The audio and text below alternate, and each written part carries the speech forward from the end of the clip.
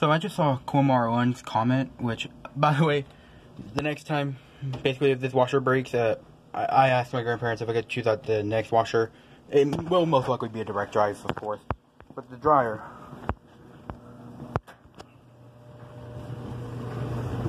I set the timer up myself, pushed the start button, and it's running, and it's really quiet so far, which my grandparents absolutely love it.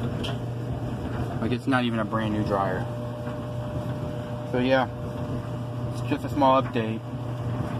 Usually I post videos uh, after an hour or two, but hey, it's just a small update. Shepherd Wolfing out.